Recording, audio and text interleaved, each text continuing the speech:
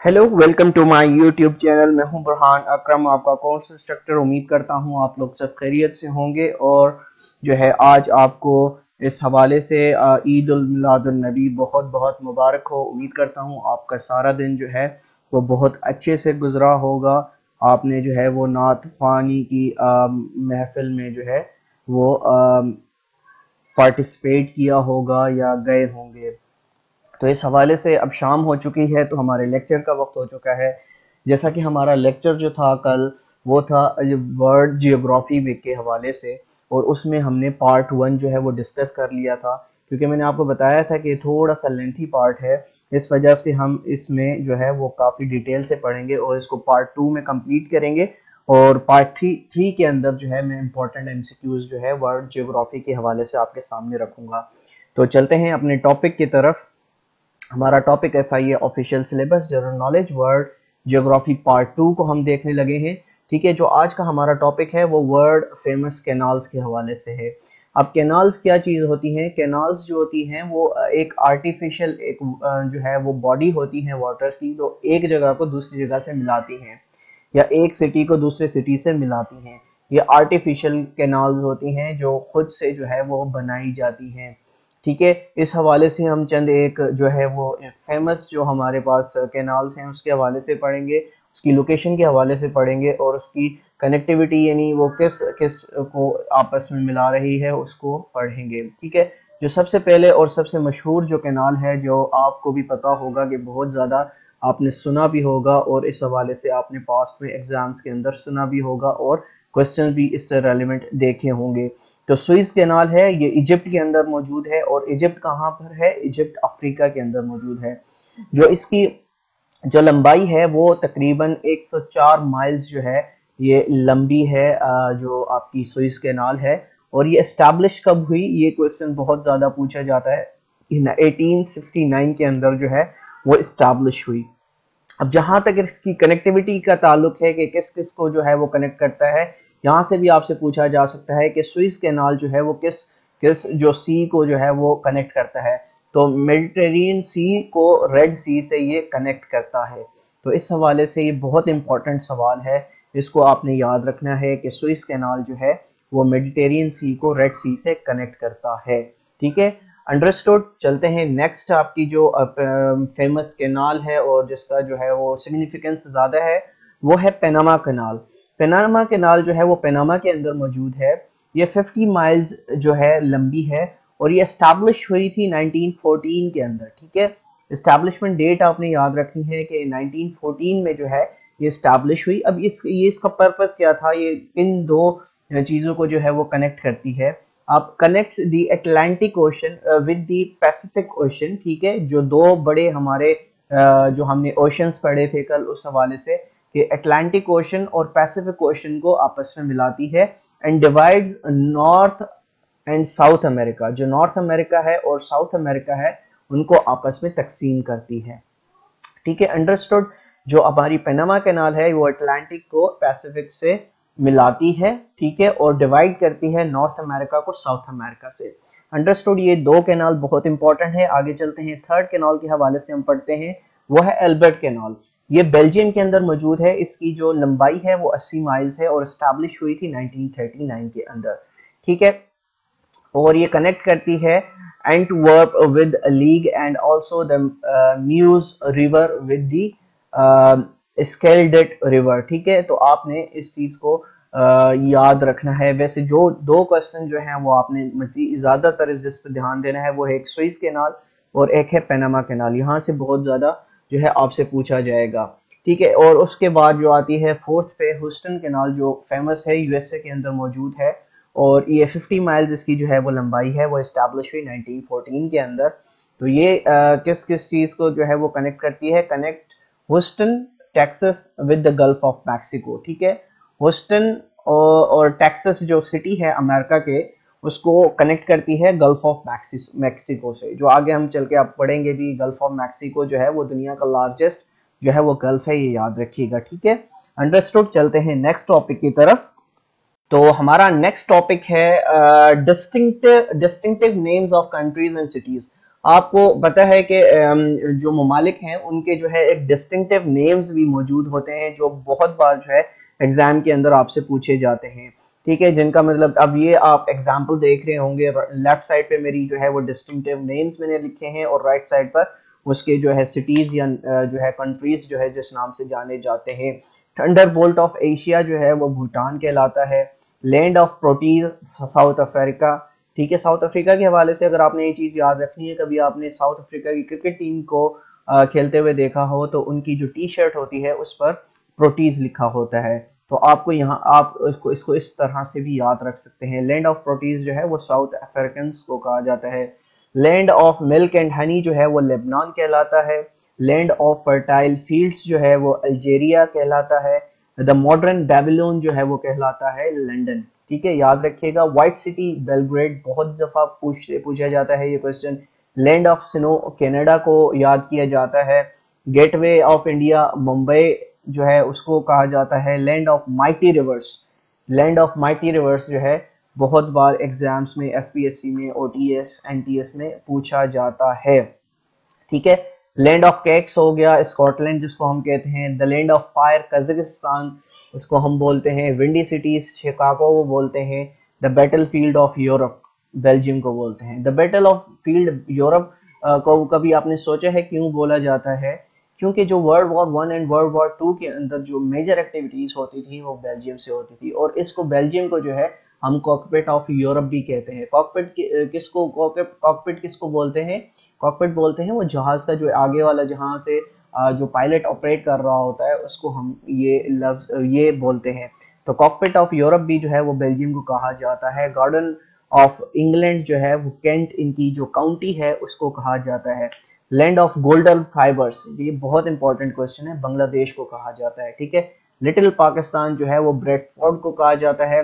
Country of copper Zambia जो है, मुल्क है, उनको कहा जाता है। City of Arabian night Baghdad city इस हवाले से मशहूर है। सिटी ऑफ़ एंजल्स बैंकॉक ठीक है? City of peace again Baghdad के हवाले से मशहूर है। हालाँकि आजकल वैसे बगदाद में जो है, वो अमन नहीं है, ठीक है? लेकिन ये इसका जो है डिस्टिंक्टिव नेम है, जो जाना जाता था। किसी ज़माने में।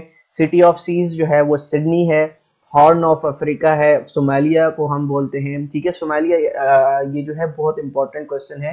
यहाँ से काफ़ी एम आते हैं कि कॉर्पोरेट ये हॉर्न ऑफ़ अफ्रीका जो है वो किस मुल्क को कहा जाता है? वो तो सोमालिया को कहा जाता है।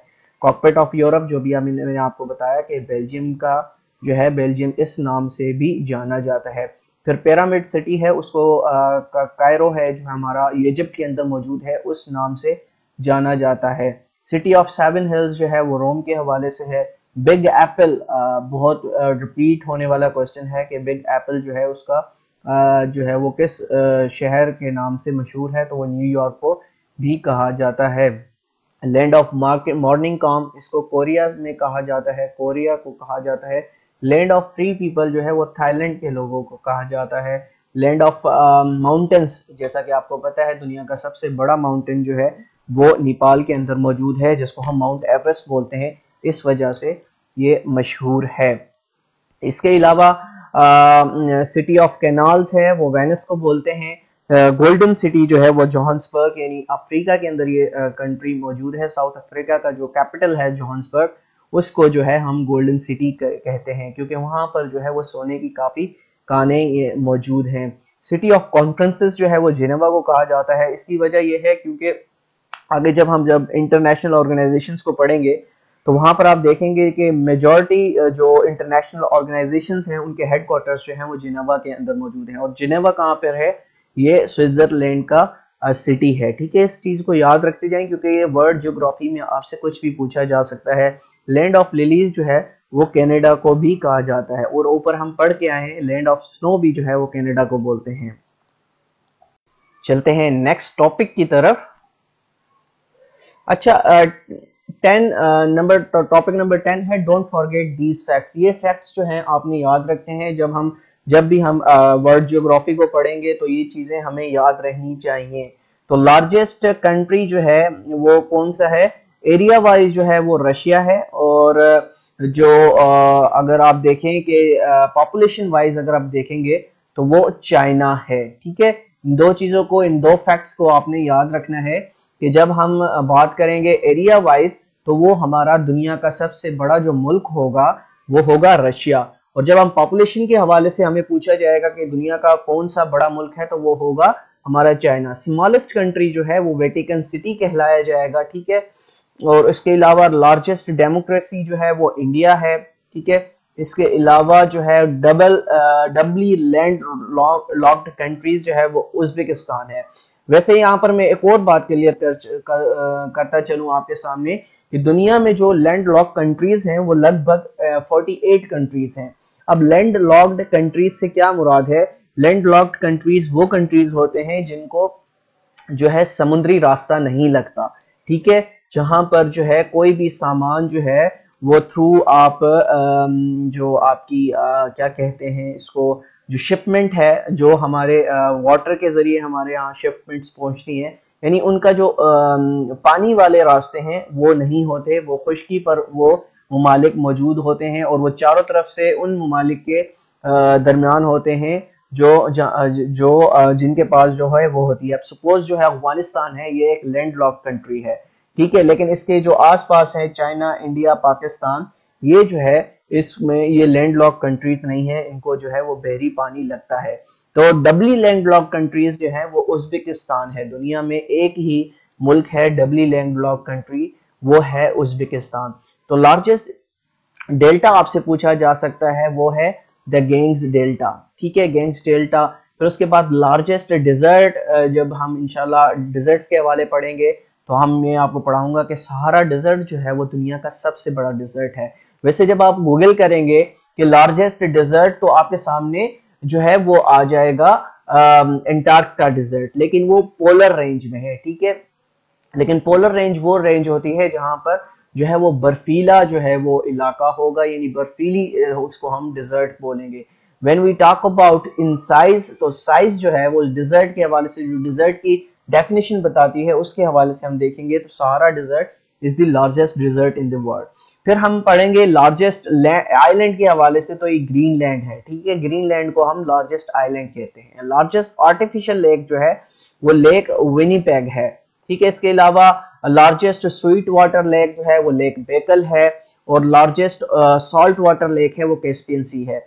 अब यहाँ पर एक और बात याद रखिएगा अगर आपसे सिंपल पूछा जाता है कि largest lake in the world तो आपने आंसर करना है कैस्पियन सी जब आपसे पूछा जाए पर्टिकुलरली पूछा जाए कि which is the largest sweet water lake तो आपने लेक बेकल का नाम लेना है. अदरवाइज़ अगर आपसे क्वेश्चन सिंपल हुआ कि which is the largest lake in the world तो आपका आंसर कैस्पियन सी होना चाहिए, ठीक है? अच्छा इसके हवाले से हाईएस्ट माउंटेन पीक जो है, वो माउंट एवरेस्ट है. ठीक है, जो नेपाल के अंदर मौजूद है। उसके अलावा हम देखते हैं हाईएस्ट माउंटेन रेंज जो है, वो हिमालयाज है। ठीक है, उसके अलावा आप देखेंगे लॉन्गेस्ट माउंटेन रेंज जो है, वो एंड्स कहलाती है। उसके अलावा जो है डीपेस्ट ओशन डीपेस्ट ओशन कल भी मैंने आपको पढ़ाया था, वो है पैसिफिक ओशन जो दुनिया का सबसे बड़ा जो है, वो ओशन है। और ओशंस के नाम की मैंने ट्रिक भी बताई थी कि आपको इनके नाम जो है, वो सीक्वेंस से आप कैसे याद कर सकते हैं। अगर आपने मेरा कल का जो है वो लेक्चर नहीं देखा तो आप वहाँ से देख सकते हैं। तो डीपेस्ट पॉइंट जो है वो मरियाना ट्रेंच है। ठीक है, यहाँ पर अब जो काफ़ी कैंडिडेट्स हैं, वो गलती करते हैं। वो डेड डेड सी को जो है वो डीपेस्ट पॉइंट कह देते हैं। डीपेस्ट पॉइंट और लोवेस्ट पॉइंट में फ़र्क है। जो डीपेस्ट पॉइंट होगा आपका वो मरियाना ट्रेंच है। और लोवेस्ट पॉइंट जो है वो डेड सी है। उसके अलावा लार्जेस्ट पेनिसुला आपने देखना है द अरेबियन पेनिसुला को हम जो है लार्जेस्ट पेनिसुला बोलते हैं। और उसके अलावा जो है driest place in the world है, वो अटाकामा डिजर्ट है, ठीक है। उसके अलावा जो लार्जेस्ट बिजिएस्ट सी पोर्ट है पोर्ट ऑफ़ शंघाई है। फिर लॉन्गेस्ट रिवर अब लॉन्गेस्ट एंड लार्जेस्ट रिवर में फ़र्क जान लीजिए। जो लॉन्गेस्ट रिवर है, जिसकी जो आप अगर उसको देखें यानी लेंथ वाइज अगर आप उसको मैयर करें तो वो है दरियाए नील लॉन्गेस्ट रिवर ठीक है?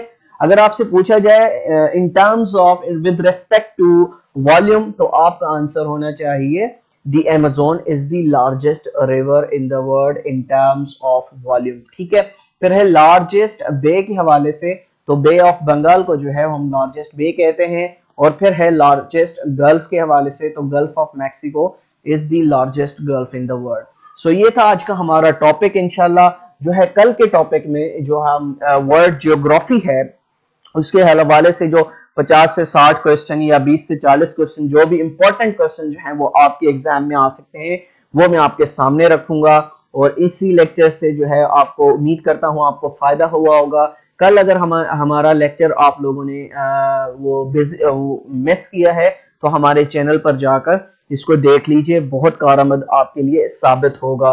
तो इनशाला उम्मीद करता हूँ, मेरी ये काविश, मेरी ये कोशिश आपके काम आ रही होगी और आपकी जो तैयारी है, वो बखूबी जो है, वो आगे बढ़ रही होगी। मैं काफ़ी कैंडिडेट्स जो है, वो मुझसे जो है कमेंट्स पर बोल रहे होते हैं कि, सर, आपने फला टॉपिक क्लियर नहीं करवाया तो फला नहीं करवाया, पाकिस्तान स्टडीज़ के अंदर। तो इनशाला मैं चाहता हूँ कि जब हमारे टॉपिक्स जो हैं जनरल नॉलेज से भी आगे बढ़ जाएँगे, इस्लामियात को भी हम देख लेंगे तो उसके बाद जो है, मैं इनशाला कोशिश करूँगा कि जो टॉपिक्स हमारे रह गए हैं या जो इम्पोर्टेंट चीज़ें हमने उसमें से मिस की हैं तो मैं उसके हवाले से भी लाइव आकर जो है, आपसे वो डिस्कस कर लूँगा, उसको मैं आपके सामने रख दूँगा। तो इनशाला घबराने की ज़रूरत नहीं है। हम चाहते हैं कि सबसे पहले हम जो मोटा मोटा कोर्स है, हमारा वो कंप्लीट कर लें, उसके बाद जो है अगर टाइम बचा तो हम उसको डिटेल में भी पढ़ेंगे इनशाला तो मिलते हैं इनशाला कल एक नए लेक्चर के साथ। उम्मीद है आपको ये लेक्चर जो है पसंद आया होगा। तो, तो मिलते हैं इनशाला कल एक नए लेक्चर के साथ। जब तक के लिए अल्लाह हाफिज़।